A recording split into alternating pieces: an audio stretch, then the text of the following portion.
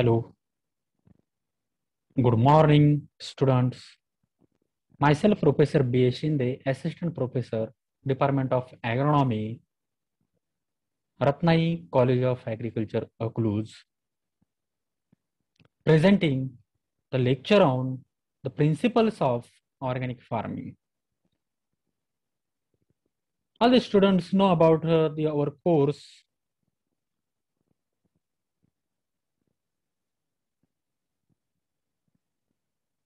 agro 248 that is the principles of organic farming. Actually you know about the organic farming. And there a need. In current generations there is a need of the organic farming for the uh, farmers as well as the uh, consumers. Because the, such a, a, food which is uh, prepared into the current current cultivations practices it is not actually the sustainable practices the farmers adopted in their field. But actually farmers have need to divert or promote towards the organic farming produces the safe food and such a safe food we provides to the consumers, that is our nations. so this is the uh, organic uh, farming systems. Actually, the organic farming is the part of sustainable agriculture. So this is uh, this is the uh, some uh, principles of the organic uh, farmings are there. Then first we see the syllabus of the agro 248 that is the principles of organic farmings. Then the first lectures on the organic farming. Actually, the definitions of the organic farming, then the principles and its scope in India as well as the world what is the actual uh, scope of the organic farmings? That is the availability of uh, the irrigations water, availability of the lands, the availability of the cheap labors, availability of the uh, such inputs we, uh, we have needed for the organic farms. This is for the productions input then in the world also that is the availability of uh, such inputs into the world also for productions of the organic food.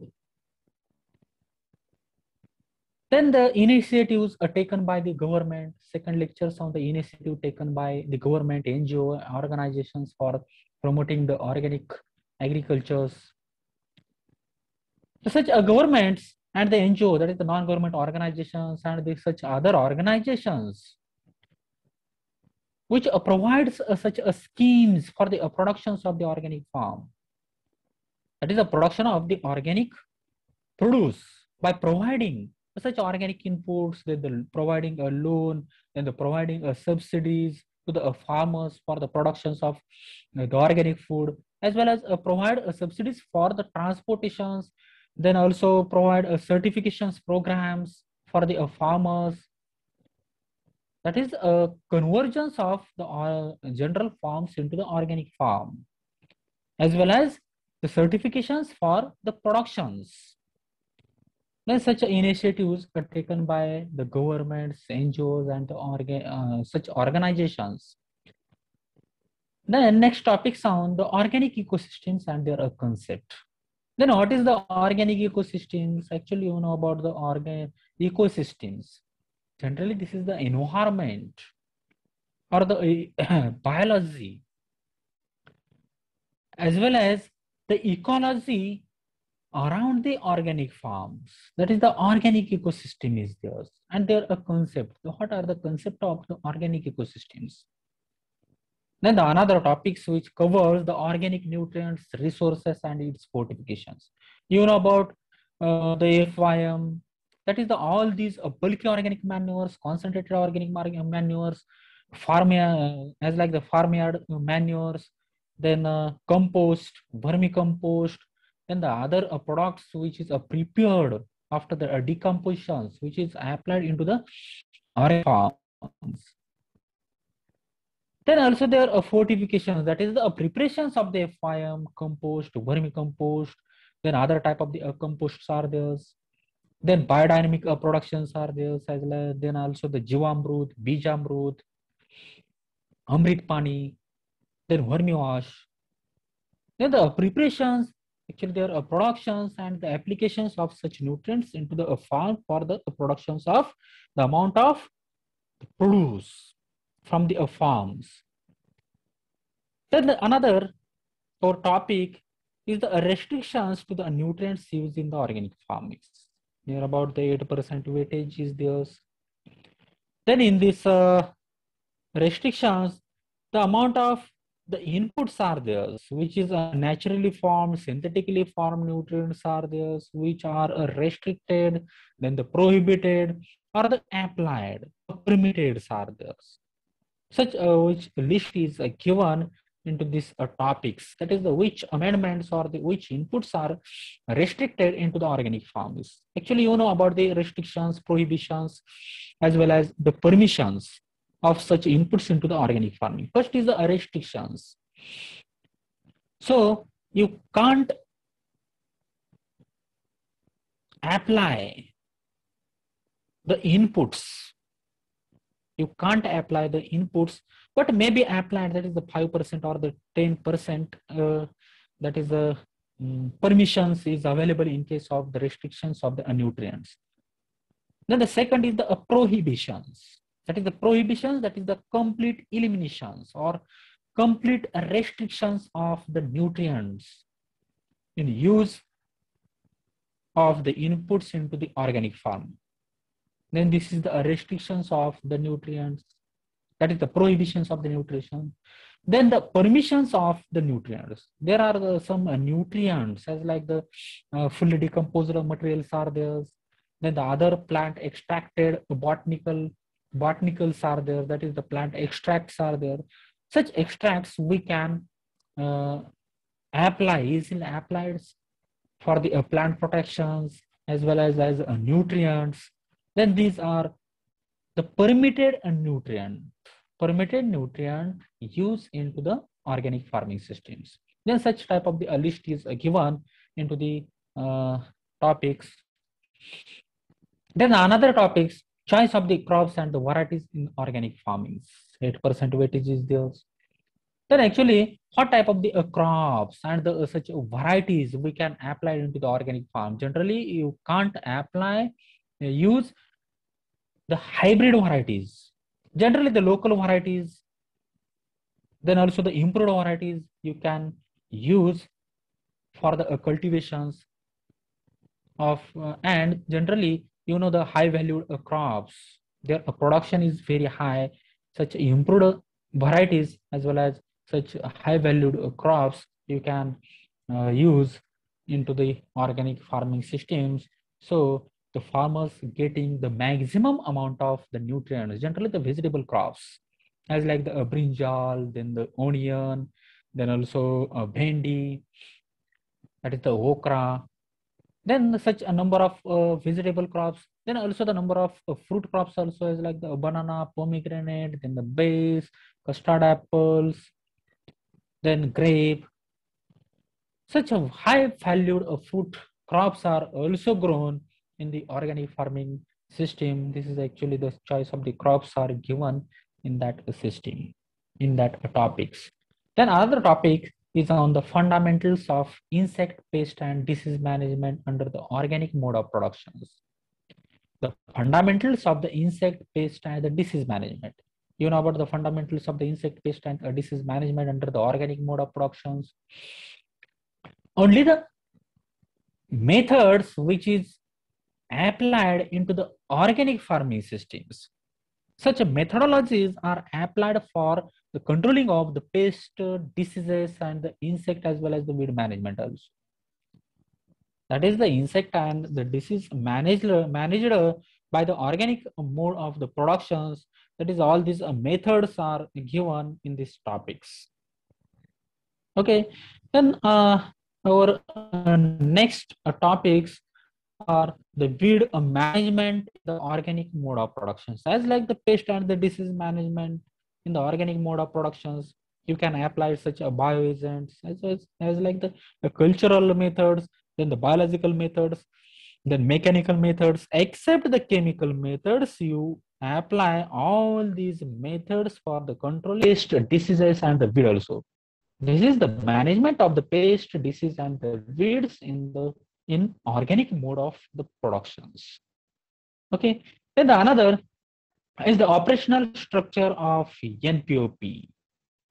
Oper operational structure of NPOP, that is the National Program of Organic Productions. There are uh, operational structures are there. That is uh, according to the hierarchical uh, level, uh, such uh, NPOP uh, operators are there, then also some officers are there. Then their operational uh, structures which is uh, given in this uh, topic. Then the another topic is on the certifications process. It is a very important topic in the organic farming about a 10 percent weightage. Okay the certification process and the standard of the organic farming. Actually the certifying agencies are there then uh, different agencies having the different uh, processes of the certifications and the uh, standards. Some accreditation pro processes are there. There are some uh, standards of the organic farming there are uh, different uh, standards which is depends upon the consumers then the nations. If in case of the products we we have a transport to the another nations which are exported to the another nations. They uh, such a nations having the different uh, rules into the import policies. Okay they have uh, need such a very less amount of the residuals or the residues into the uh, such a materials which uh, we have uh, transported or uh, exported to the such a nations. Then there a certification of process. Certification process is necessary to certify such a farm and the produce as an organic farm. Okay, this is a necessary things while such a produce which is identified as a certified organic produce or the standardized organic produce. Okay, after the uh, certification and the standardizations of the organic produce or the uh, farms, then there are uh, such uh, processes are there. After that, the processes are there. That is the uh, processings of the organic produce. Then the labeling of the organic produce and actually the important is the economic considerations and its viability in the organic productions in case of the farmers. That is the economic is a very important in case of the farmers. So economic consideration or economic study of the organic produce is very important which is uh, given in these topics. Then another topic is also very important about a 10% weightage that is the export potential of the organic products. That is how much producer our nation is produced for the exportations of uh, such organic products. And what is the actual potentials of the India which able to export the organic, purely organic product to the our other nations. Okay, this is very important uh, things and very important uh, topics about a 10% weightage is theirs and this is the last topics. And after this uh, theory syllabus there are others uh, will be covered the practical uh, syllabus. Then such a practical syllabus there are some uh, visits are there in some uh, studies and actual uh, practically we have prepared such inputs are there the first is the visit to the organic farms to study the various components of, and their utilizations. There is a need of the uh, visit is uh, there for the all the uh, students of this uh, course because actual the farm visit will uh, student may be uh, studied by such a farm visit actual the farm working then actual uh, certifications, actual uh, standardizations, actual uh, produce produced into the farms. That is, it realized the quality of that produce into the field conditions. Okay, this is the importance of the visit to the organic farms. Then another topic is study of the preparations, the methods of enriched compost. What is by enriched compost? The compost having the amount of the nutrients as like the NP, NPK, then uh, uh, some micronutrients and the enzymes are there. So uh, we have need to prepare uh, such enriched uh, compost by using the different methods. by using the different methods of the compost preparations. Then another topics is the study of the preparations methods for the vermicompost and the vermiwash. You know about the uh, vermicompost? That is the earthworms are used for the preparations of the compost. Is the vermicompost and such a liquid excreta which is extracted from the vermicompost is the vermiwash. Actually, vermiwash is the liquid excreta of the earthworms. Okay. Then another topic is on the study of the biofertilizers and the bioinoculants. The biofertilizers, you know about the biofertilizers? It is the, yes, biofertilizer is actually the bioinoculants. It is a microbial inoculant which containing live or latent cells of the efficient organisms. You know about the organisms as like the nitrogen fixing organisms, phosphate solubilizing organisms, and the cellulosic organisms. Okay, such organisms and their the strain is theirs, which is applied for the productions of the crops. Then another topic is the study of the preparation of the biodynamic compost and the cow pat pit. The biodynamic uh, compost, as like the biodynamic compost, the bio BD uh, 50 is there, then the another biodynamic as like the cow horn, silica, then uh, bokashi productions, as like the productions are there into the uh, biodynamic uh, compost and the cow pat pit. This is such a cow pat pit is a methodology to prepare such a type of the compost for applications into the farm. Then another topic is the study of the quality analysis of the compost and the vermicompost. The quality analysis of the compost and the vermicompost. By analyzing the nutrient contents, that is macro as well as the micronutrients contents. Macro, that is uh, a NPK, then sulfur content, then also the uh, pH of the compost and the vermicompost, then the organic carbon present in the organic uh, in the vermicompost and the compost, and the CN ratio. It is uh, totally uh, depends upon the rate of the decompositions of the compost and the vermicompost, and also uh, the present of presence of the mic micronutrients, as like the copper, then the zinc is there, then the manganese, then uh, zinc, uh, then such a type of the micronutrients, then the iron, such a micronutrients which is uh, present into the compost and the vermicompost and the quality analyze, analysis of uh, such uh, inputs are there. Then the another topic is on the study of crop residues management and the green manuring. The crop residue management that is a crop residues which is a farm residues as well as the out farm residues and their decompositions and the green manuring. The green manuring as like the leafy green manuring and in situ green manuring. That is about type of uh, the green manurings which is applied into the uh, farms to improve the physical conditions of the field and the soil also. Okay. Then another topic is the study of the indigenous technology knowledge.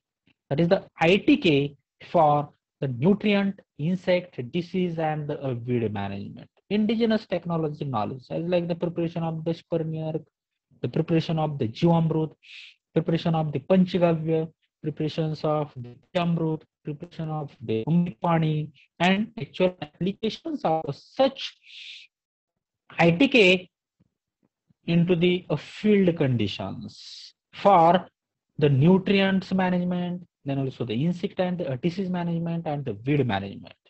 Then this is the ITK technology. Then another topics is a study the methods of the preparations of the productions of the Panchagavya, Bijamrut, Jivamrut in the organic farming system. How to produce the Panchagavya. That is actual a methodology into the field conditions we have studied after uh, the starting of our actual uh, syllabus, then the Panchagavya preparation of the Panchagavya, then the preparation of the Bijamrut, preparation of Jivamrut, then the study, the methods of the preparations and the production of the cost of the Dashparni neem seed extracts in the organic farming for the pest management, pest and uh, disease management. Okay, the neem seed kernel extracts, you know about the NSCK. Okay, then the Dashparni, that is the extract of the 10 type of the leaves. Then you have actually the prepare the such type of uh, the extracts and herbs also. Okay. Then the study of the post-harvest management in the organic farming. The post-harvest management as like the processing, then the uh, gradings are there, then also another type of uh, such uh, processes as like our in our next our next topics actual uh, giving such a grading then the packaging handling then the transportations of uh, such um, produce are there and uh, last topic is the visit to the biocontrol laboratory and the biofertilizer and the vermicompost unit of the our localities. Then the, in our localities, we have visit will be a visit to the biocontrol laboratory, then the biofertilizer unit and the vermicompost unit into the our localities. Okay, this is all the total syllabus will be uh, covered into the uh, next uh, lectures. Then our suggested readings are there. You see such suggested readings. The first is the organic farming for the sustainable agriculture by Dahama. Okay, Dahama AK. This is one uh, book is there. Then another book is the organic farming theory and practices by the Palaniappan ESP. Palaniappan ESP. Then the organic farming in India problems and prospects by Thapa U. Then another most important book is Trends in Organic Farming in India by Agrobios Publications. Publication is the Agrobios Publications and Handbook of the Organic Farming. Okay, Handbook of the Organic Farming is also very important books. Amount of the syllabus which is uh, covered from that book. Then the another book is the recent developments in the organic farming by Gulati and the Barik. Okay, the recent data uh, is provided in this uh, book. You see all these data from that book that is the recent developments in organic farming by Gulati and the Barik. Okay, these are the suggested readings. And we'll be start starting the actual uh, syllabus from the official lecture in next. Okay next lectures. Thank you